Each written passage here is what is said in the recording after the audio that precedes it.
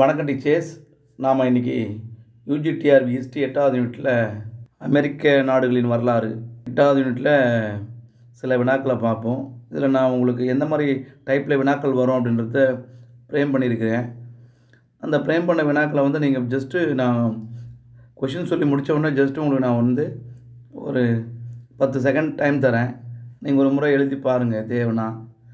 So உங்களுக்கு கரெக்டாக போட முடியுதா? இல்லை படிச்சிருந்தா போட முடியுதுன்னு ஓகே அதனால் புக்கை ஃபுல்லாக படிச்சுட்டு கிட்டத்தட்ட முந்நூறு பேஜ் இருக்கு இல்லையா? அந்த அமெரிக்க ஐக்கிய வரலாறு புக்கு நான் கொடுத்துருக்கேன் இல்லையா? அதை முந்நூறு பேஜ் படிச்சுட்டு அதுக்கப்புறம் மறுபடியும் எழுதி பாருங்கள் ஸோ இந்த மாதிரி வினாக்கள் இப்படி தான் பிரேமாகும் அப்படின்றது ஒரு யூகம் தான் இந்த மாதிரி வருவதற்கு நூறு பர்சன்டேஜ் வாய்ப்புகள் பிரகாசமாக இருக்குது. ஸோ நான் ஃபஸ்ட்டு கொஷின் பார்ப்போம். கீழ்கண்ட இணைகளில் தவறான இணையை தேர்க. அப்போ நெகட்டிவ் இது. ஸோ நெகட்டிவ் அப்போ இப்போ உங்களுக்கு வந்து நாலுமே தெரிஞ்சால் தான் போட முடியும். நெகட்டிவ் கொஷினு அமெரிக்காவில் உழைப்பின் வீரர்கள் சங்கம் அப்படின்றது யார் கொண்டாந்தாங்கன்னு கேட்குறாங்க அது வந்து யூரியா ஸ்டட்பன்ஸ் பி வந்து தேசிய உழைப்பாளர்கள் சங்கம் வில்லியம் சில்பிஸ் சி வந்து அமெரிக்க தொழிலாளர் கூட்டமைப்பு Samuel Gompers. The Chicago Haymarket அமைப்புக்கான படுகொலை மாஸ் படுகொலை என்ற மசகர் படுகொலை என்று அழைக்கப்படுவோம். சிகாகோ ஏமாட்டன் அமைப்பு டரன்ஸ் போர்டர்லின்னு கொடுத்துருக்கேன். நீங்கள் இதுக்கான ஆன்சரை ஒரு ஜஸ்ட் ஒரு அஞ்சு செகண்ட் பார்த்து போட்டுக்குங்க. அதுக்கப்புறம் விளக்கம் கொடுக்குறேன். Five, four, three, two, one. Okay teacher இதுக்கான ஆன்சர் பார்த்தீங்கன்னா நான் இது வந்து உங்களுக்கு உபயோகமாக இருக்கும். நீங்கள் கரெக்டாக படிச்சுக்கிறதுக்காக அப்படியே கொடுத்துருக்கேன். வீரர்கள் சங்கம். யூரியோ ஸ்டெபன்ஸ் தான் போட்டு உருவாக்குனார். தேசிய உழைப்பாளர் சங்கம். வில்லியம் சில்விஸ் தான் உருவாக்குனார். அமெரிக்க தொழிலாளர் கூட்டமைப்பு. Samuel Gompers. இது வந்து சுருட்டு கம்பெனி. அமெரிக்காவின் முதன் முதலான சுருட்டு கம்பெனி. இவர் தான் ஆரம்பித்தார் இதுவும் கரெக்டு சிகாகோ ஏமாற்றன் அமைப்பு என்பது இல்லை அது ஒரு படுகொலை. இதுதான் தவறானது. இந்த இது மட்டும் யாரும் அமைக்கலை. ஒரு விதமான இன்சிடெண்ட் அது. எந்த வருஷம் அப்படின்னா ஆயிரத்தி எட்நூற்றி எண்பத்தாறு மே மாதம் ஒன்றாம் தேதி. ஸோ இது மட்டும் நான் வச்சுக்கோங்க. மே ஒன்று. ஸோ ஆயிரத்தி எண்பத்தாறு மே ஒன்றில் நடைபெற்ற ஒரு நிகழ்வு தான் ஏமாற்றன் படுகொலை சிகாகோவில் அமைந்தது. சிகாகோவில் நடைபெற்ற ஒரு படுகொலை நிகழ்வு. தொழிலாளர்கள் வந்து போராட்டம்னான்னு நான் வச்சுக்கோங்க. சரியான ஆன்சர் வந்து இதுக்கு டி அது ரெண்டாவது கொஷின் வந்து டேஸ் என்பவர்களுடைய தலைமையில் மெக்சிகோ மக்கள் பிரான்ஸ் படைகளை தோற்கடித்தார்கள்னு கேட்டது. அப்போ மெக்சிகோ வந்து தென் அமெரிக்காவில் இருக்குது. வட அமெரிக்கா தென் அமெரிக்கா. தென் அமெரிக்காவில் ஒரு பகுதி.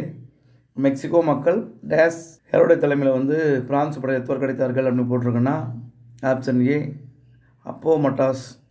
Option B Maximilian. Option C Juarez.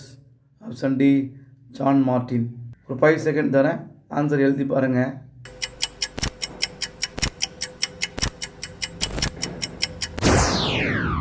இது ரெண்டாவது வந்து விடை வந்து யாருடைய தலைமையில் மெக்சிகோ மக்கள் பிரான்ஸ் படை தோற்கடித்தனா ஜாரஸ்.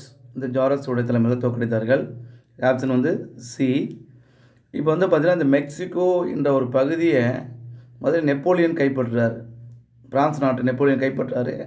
கைப்பற்றி அந்த பகுதியில் மேக்ஸ் மில்லியன் என்ற ஆஸ்திரிய இளவரசர் அவர் ஆஸ்திரியாவோட இளவரசரை வந்து அந்த பகுதியில் சார்ஜ் எடுத்துக்க சொல்கிறாரு ஸோ மக்கள் வந்து ரொம்ப போராட்டம் பண்ணுறாங்க அதுக்கப்புறம் மெக்சிகோ மக்களுடைய தலைமையில் ஜாரஸ் தலைமையில் போராட்டம் பண்ணி என்ன பண்ணுறாங்கன்னா அந்த மார்க்ஸ் மில்லியனை கொண்டு வர்றாங்க ஸோ இது வந்து மெக்சிகோ வந்து அதுக்கப்புறம் டெவலப்மெண்ட் ஆகுது.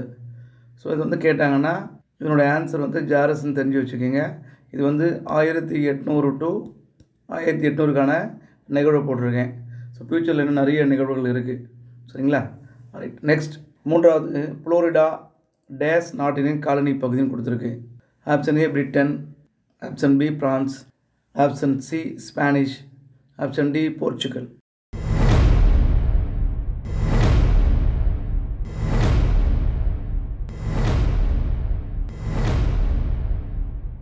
சரிங்க டீச்சர். இப்போ என்னென்னா இந்த ஃப்ளோரிடா அப்படின்னா நம்ம என்ன பண்ணுவோம்? மேக்ஸிமம் பிரிட்டன் கிட்ட தான் இருக்குது அப்படின்னு நினைப்போம். இது மாதிரி கொடுக்கும்போது ஒரு நம்ம சரியான விடைகளை அடிக்கணும் போது சரியான நிகழ்வு நமக்கு தெரியலன்னா இதுவாக அதுவான்னு கெஸ் பண்ணிக்கிட்டே தான் இருப்போம். ஸோ ஃப்ளோரிடா வந்து கடைசியாக அந்த பதிமூன்றாவது குடியேற்றங்களில் பத்து பதினொன்று பன்னெண்டு பதிமூன்று அப்படி வரக்கூடிய குடியேற்றங்களில் ஒரு ந- பகுதி. இதில் வந்து யாருடைய கட்டுப்பாட்டில் இருந்தது ஃப்ளோரிடா அப்படின்னா ஸ்பெயின் நாட்டுடைய கண்ட்ரோலில் இருந்தது. ஸ்பானிஷ் நாட்டுடைய கண்ட்ரோலில் இருந்து இது ஆப்ஷன் சி நம்ம கெஸ் பண்ணும்போது பிரிட்டனோ ஃப்ரான்ஸோ நினைப்போம். ஸோ ஃப்ளோரிடா ஸ்பெயின் நாட்டுடைய காலனி பகுதியாக ரொம்ப நாளாக இருந்தது. ஸ்பானியர்கள் ஆயிரத்தி எட்நூற்றி மூணுலேயும் ஒரு சில பகுதியிலையும் வாங்குறாங்க. சரிங்களா? ரைட் இதுக்கு வந்து புளோரிடா எந்த நாட்டிலோடைய காலனி பகுதி அப்படின்னா ஸ்பானிஷ் ஞாபகம் வச்சுங்க நீங்கள் அமெரிக்கான்னு எடுத்தாவே பிரிட்டன் இருப்பான் பிரான்ஸ் இருப்பான் நெக்ஸ்ட் ஸ்பெயின் இருப்பான். இது மூணு பேரோட பகுதிகள் நிறைய இருக்குது. பதிமூன்று எது எதுன்றது நீங்கள் இப்போ என்னுடைய புக்கில் வந்து ஃபஸ்ட்டு பத்து பேஜில் கிளியராக இருக்கும். சார்ட் போட்டு எழுதிக்கங்க. அப்போ தான் அதுலேருந்து ஒரு மார்க் வரும். எது எந்தெந்த பகுதியில் இருந்துன்னு கண்டிப்பாக தெரியணும். புளோரிடா ஸ்பானிஷ் நாட்டுடைய ஒரு பகுதி. இது பொறுத்துக்க இந்த மாதிரி கேட்பாங்க. இதில் நீங்கள் பார்க்குற போது எந்த நாட்டை கண்டுபிடிச்சாரு அந்த மாலுமின்றதுலாம் வராது. அவர் நேட்டிவிட்டி சொந்த இடம் எதுன்னு கேட்பாங்க. சொந்தமாக ஒரு இடத்துல இருந்திருப்பார். அவர் அங்கேருந்து கிளம்பி போய் இன்னொரு நாட்டுக்கு ஸ்பெயினோ போர்ச்சுகலோ பிரிட்டனோ யார்கிட்டயோ ஒருத்தர் போய் சார் நான் வேலைக்கு வரேன்ட்டு வேலை பார்த்து கண்டுபிடிச்சிருப்பார். அவங்களுடைய கண்டிப்பான நாடுகள்னு கரெக்டாக சொன்னோம் சரிங்களா? ஸோ அந்த மாதிரி போட்டால் தான் உங்களுக்கு வந்து இதுலேருந்து ஒரு மார்க் கண்டிப்பாக வரும்.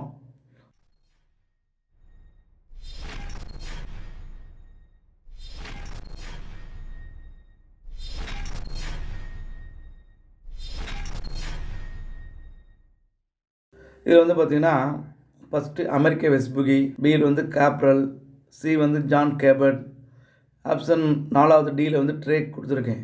அவர்களுடைய சொந்த நாடுகள் எது எதுன்னு கொடுத்துருக்கு இந்த பக்கத்தில். பிரான்ஸு போர்ச்சுகல் இத்தாலி பிரிட்டன் நாளை கொடுத்துருக்கு. இதுக்கப்புறம் யார் யார் என்னென்ன கண்டுபிடிச்சா உங்களுக்கு மூணாவதாக தெரியணும். இப்படி பார்த்தோம்னா இதை வந்து நாங்கள் நீ உங்களுக்கு ஒரு மார்க் வரட்டும் அப்படின்ற மாதிரி அப்படியே எடுத்திருக்கேன். அமெரிக்க வெஸ்புகி பிரான்ஸ் நாட்டை சேர்ந்தவர் கேப்ரல் போர்ச்சுகல் நாட்டை சேர்ந்தவர். ஜான் கேபர்ட் இத்தாலி நாட்டை சேர்ந்தவர். அடுத்து ட்ரேக் வந்து பிரிட்டன் நாட்டை சேர்ந்தவர். ட்ரேக் தான் உலகை வளம் வந்த முதல் இங்கிலாந்து நாட்டை சேர்ந்தவர். பிரான்சிஸ் ட்ரேக் இங்கிலாந்து நாட்டை சேர்ந்த உலகை வளம் வந்த முதல் ஆங்கிலேய நாட்டை சேர்ந்தவர் அப்படின்னா வந்து ட்ரேக் தான். இது வந்து அமெரிக்க வெஸ்பிக்கு அமெரிக்கான பெயரிட்டார் அதெல்லாம் நீங்கள் பார்ப்பீங்க ஜான் கேபர்ட் காப்ரல் வந்து பிரேசில் கண்டுபிடிச்சார். ஜான் கேபர்ட் வந்து பிரேசில் கண்டுபிடிச்சார் போர்ச்சுகல் கனடாவை கண்டுபிடிச்சாருன்னு ஒவ்வொன்றா நீங்கள் தெரிஞ்சு வச்சுருப்பீங்க. ஆனால் இந்த நாடுகள் சொந்த நாடுகள் எது அப்படின்னு கேட்பாங்க. அதனால் நீங்கள் கண்டுபிடிக்கும் போது கரெக்டாக யார் யாருன்றதை பார்த்துக்குங்க. அதை கரெக்டாக போட முடியும். சரியான ஆன்சர் இது. ஏ பி இருக்கிற ஒன்று ரெண்டு மூணு நாலு. கரெக்டாக நீங்கள் நினைவு வச்சுக்கோங்க. இந்த வினா வருவதற்கும் வாய்ப்பு இருக்குது பிளைமவுத் குடியேற்றத்தின் முதல் ஆளுநர் அப்படின்னு கொடுத்துருக்காங்க. இந்த பிளைமவுத் குடியேற்றத்தின் முதல் ஆளுநர் அப்படின்னா William Bradford John Carver John Smith Speedwell அப்படின்னு கொடுத்துருக்கு. இந்த முதல் கவர்னர் யார் அப்படின்னு பார்த்தீங்கன்னா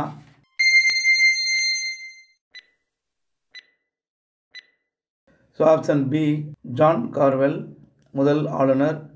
அடுத்தது ரெண்டாவதாக வந்தவர் வில்லியம் பிராட்போர்ட் ரெண்டாவது ஆளுநர். ரெண்டாவது ஆளுநர் ஆட்சி காலத்தில் தான் இந்த பிளைமோத் மிகப்பெரிய லெவலில் வளர்ச்சி அடைந்தது.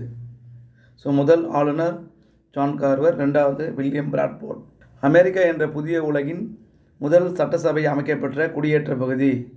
அமெரிக்காவுடைய காங்கிரஸ் இன்றைய நடைமுறையில் இருக்கிற காங்கிரஸ் மக்களாட்சி காங்கிரஸ் எந்த ப- குடியேற்ற பகுதியில் அமைக்கப்படுதுன்னு கேட்டிருக்காங்க?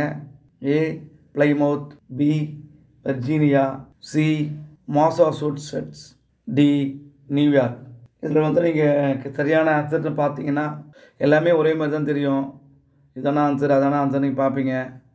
அதோட இந்த ச- முதல் சட்டசபை எங்கே அப்படின்னா விர்ஜீனியா. ஆப்ஷன் பி ஆன்சர் உங்களுக்கு தெரியணும். ம். அடுத்ததான் இந்த நியூயார்க் வந்து அந்த மாசா சூட்டில் தான் இருக்குது. பாஸ்டனில் என்ன இருக்குன்னு கூட கேட்பாங்க. பாஸ்டனில் இந்த பாஸ்டன் தேநீர் விருந்துலாம் நீங்கள் படிப்பீங்க தே அதில். பாஸ்டன் தேநீர் விருந்து பாஸ்டன் மிகப்பெரிய திறந்த துறைமுகம் அந்த மாசா சூட்டில் தான் இருக்குதுன்னு தெரியணும். இந்த மாதிரி கூட சின்ன கொஷின் கேட்பாங்க. பாஸ்டன் தேநீர் விருந்து எந்த குடியேற்றத்தில் நடைபெறுன்னு கூட கேட்பாங்க. பாஸ்டன் நிகழ்வு எந்த பகுதியில் நடைபெறுனா மாசா சூட்ஸ் உங்களுக்கு தெரிஞ்சிருக்கணும். இந்த மாதிரி வினாக்களும் வரும். ஒவ்வொன்றுக்கும் முக்கியமானது. நியூயார்க் நடைபெற்றவர்கள் அப்படின்னா முதல்ல உங்களுக்கு தெரியணும். யாருன்னா டேனியர்கள் அப்படின்றது உங்களுக்கு தெரியணும். நியூயார்க் என பெயரை மாற்றியவர்கள் ஆங்கிலேயர்கள். நியூ ஆமஸ்டாங். நியூ ஆமஸ்டாங் என்ற பெயரை நியூயார்க் என பெயர் இட்டு மாற்றியவர்கள் யாருன்னா ஆங்கிலேயர்கள். அப்படின்னு நான் கேட்டாங்கன்னா அந்த கொஷின் நீங்கள் கரெக்டாக போட வேண்டிய சூழல் இருக்கும். நியூ ஆமஸ்டான் என்ற பெயரை நியூயார்க் என மாற்றியவர்கள் ஆங்கிலேயர்கள். கீழ்கண்டவர்களில் யாரின் நினைவாக லூசியானா என பெயரிடப்பட்டது அப்படின்னு கேட்டிருக்காங்க. யாருடைய நினைவாக லூசியானா அப்படின்னா option A Mary Lucy option B பதினான்காம் Louis. Option D Mary Elizabeth option D முதலாம் ஜேம்ஸ் நீங்கள் கெஸ் பண்ணி பாருங்கள்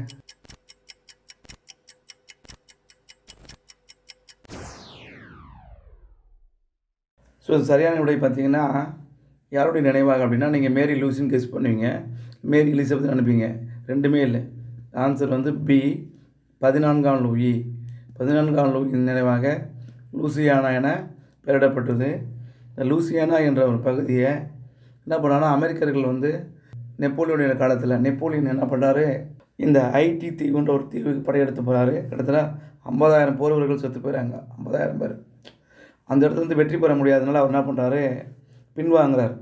அந்த சூழலில் ரொம்ப நிதி சுமை ஏற்படுது.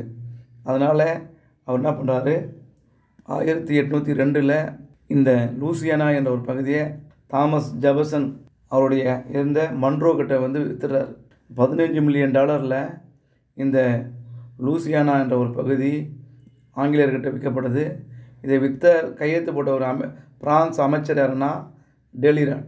பிரான்ஸ் அமைச்சர் வந்து டெலிராட் எந்த வருஷம்னா ஆயிரத்தி ரெண்டு ஆயிரத்தி எட்நூற்றி ரெண்டில் விற்றுட்டாங்க அப்படின்னா வச்சுங்க எவ்வளோ அப்படின்னா பதினஞ்சு மில்லியன் டாலருக்கு விற்றுருக்காங்க தாமஸ் ஜெபசன் அவர்கள் அனுப்பிய மன்ரோ அவர்களிடம் டெலிராட்டம் ஒப்பந்தம் செய்து இந்த பகுதி பெற்றுக்கொள்ளப்பட்டது அடுத்து எட்டாவது கொஷினு லெப்பர்ட் அண்டு செபிக் முறையே டேஸ் மற்றும் டேஸ் நாடுகளின் போர்க்கப்பல்கள் கொடுத்துருக்கேன். லெப்பர்ட் அண்டு செபிக் ரெண்டு கப்பல் இருக்குது எந்த நாடுகளுடைய அப்படின்னு பார்த்தீங்கன்னா இப்போ லூசிடானியா போர்க்கப்பல் அப்படின்னு தெரியும்.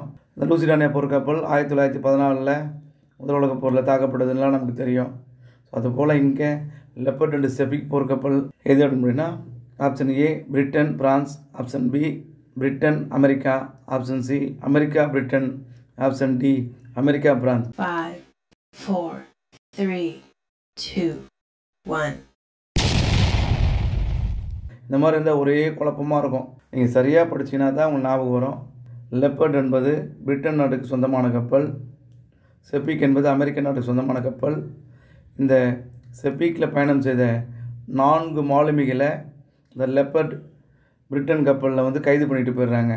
ஸோ அதனால் ஆயிரத்தி தொள்ளாயிரத்தி பன்னெண்டு டு ஆயிரத்தி தொள்ளாயிரத்தி பதினாலு வரைக்கும் அமெரிக்காவுக்கும் இங்கிலாந்துக்கும் இடையே சண்டை நடக்குது. பன்னெண்டு டு பதினாலில். இந்த சண்டையில் ஆயிரத்தி தொள்ளாயிரத்தி பதினாலில் கென்ட் உடன்படிக்கை கென்ட் சமாதானம் அப்படின்னு சொல்லுவாங்க. ஆயிரத்தி எட்நூற்றி பதினாலில் கென்ட் உடன்படிக்கை கென்ட் சமாதானம். இது ரெண்டாவது அமெரிக்க இங்கிலாந்து வார் அப்படின்னு சொல்லுவாங்க. சரிங்களா? ஃபஸ்ட்டு வேறு எழுநூற்றி எண்பத்தி மூணில் முடிஞ்சிடும் கால்நாள் பிறகு சரணடைவார். இது வந்து ரெண்டாவது அமெரிக்க இங்கிலாந்து போர் அமெரிக்க இங்கிலாந்து போர் எட்நூற்றி பன்னெண்டு பதினாலு நடக்கும். எட்நூற்றி பதினாலில் கென்ட் உடன்படிக்கையின்படி முடியும்.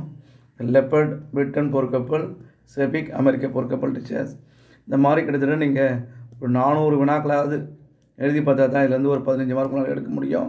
ஸோ புத்தகத்தை படிங்க வினாக்களை விடைகளை நீங்கள் எழுதி பார்த்து ப்ராக்டிஸ் பண்ணுங்கள் வாழ்த்துக்கள் டீச்சர்ஸ் தொடர்ந்து படிங்க.